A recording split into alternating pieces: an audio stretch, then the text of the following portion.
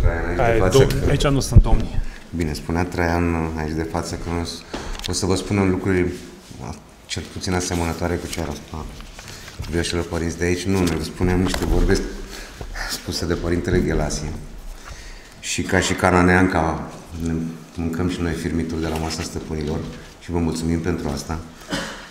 Că eu am să vă spun un dialog din mărturisire despre Părintele Ghelasie. Sunt, uh, sunt foarte frumoase și spuse din toată inima și de cei trăitori.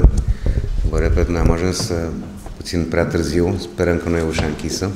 Și Gabriela, n-am, nu l-am cunoscut personal pe Părintele de Ghelasie, dar ne ținem de sutana celor care s-au ținut de sutana Părintele Ghelasie. Și am, ne-am oprit, m-am oprit la un dialog foarte frumos între un ucen- ucenic și Părintele Ghelasie. Ești duhovnic? Nu sunt. Ești teolog? Nici de cum. Ești sfătuitor? Departe de mine. Ești deschizător de drumuri, reper de urmat, model viu de viețuire creștină? Ah, am crezut odată că sunt și iluzia țândăr s-a făcut de stânci și de valuri. Și atunci ce ești? Tocmai asta e, că nu sunt. Și cu cât îl trăiesc mai intens pe acest nu sunt, cu atât am șanse mai mari să fiu, într-adevăr, eu însumi. Dar cine ești tu însuți?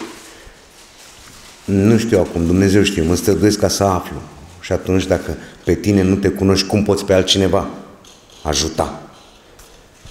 Am încercat, am încetat să lupt de a mai converti pe alții.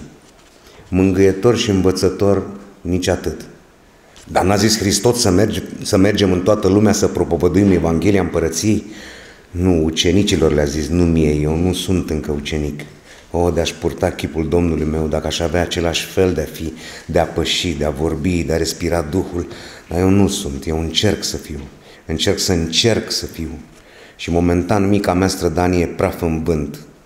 Doar de ar veni odată Duhul să plinească neputința. Și atunci de ce ești preot? Tocmai ca să le sugerez și altora să încerce să fie. Și ce metode ai spre a-i convinge? Niciuna. Eu nu-i conving, eu nu conving pe nimeni, eu doar caut să trăiesc firesc și spontan, să fiu sincer în propria neputință și să liturghisesc în tăcere. Și pe ce te bazezi că procedezi bine? Pe mărturia fraților mei mai încercați în viață, care atât mi-au zis. Nu mai e vremea vorbelor, nu mai e rost de predici, prelegeri sau conferințe. Lucrarea lăuntrică a fiecăruia e salvarea.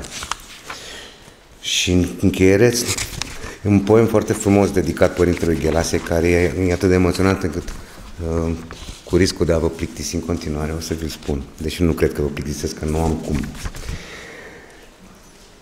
Părinte, mi-ai zis că se poate înainta, te cred.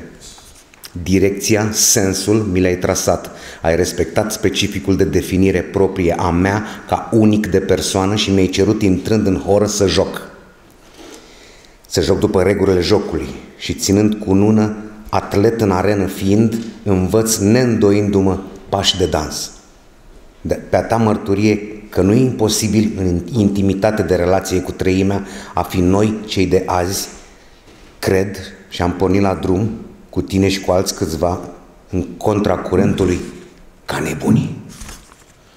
Așa ai fost tu, Ava, și atât cât am putut până la al tău cuib de neatins al chipului de taină al tăcerii, al rugului nestins în flacăra închinării, treimea m-am vrednicit să urc, planarea învățându-mă, larg brațele întinzând în crucea vie și inima învăpăind în dorul de a-ți urma chiar dacă ades mă clatin frânt, dar poate odată prin mine înnoi se vor ca ale vulturului tinerețile tale, de bucurie sfântă, că sunt într-adevăr fiu.